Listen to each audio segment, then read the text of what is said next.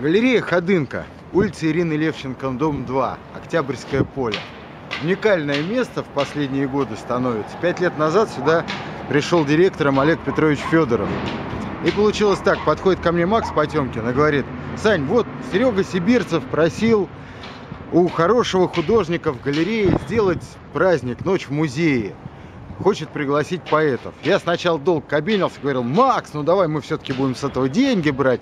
Ну, так сложилось, что как-то вот не берем мы с Петровича за это деньги, но с удовольствием с ним работаем, сотрудничаем. Здесь постоянно какие-то праздники, постоянно поэтические литературные тусовки.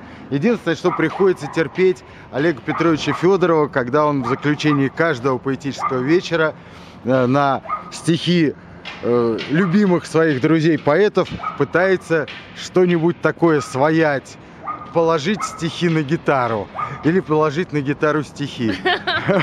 Положить на все и. Да, да, да.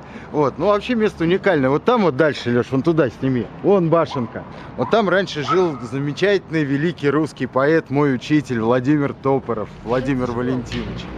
Ну, к сожалению, он недавно умер. Вот, ну, его вдова иногда сюда тоже заходит на наши мероприятия. Все, вот, ну да.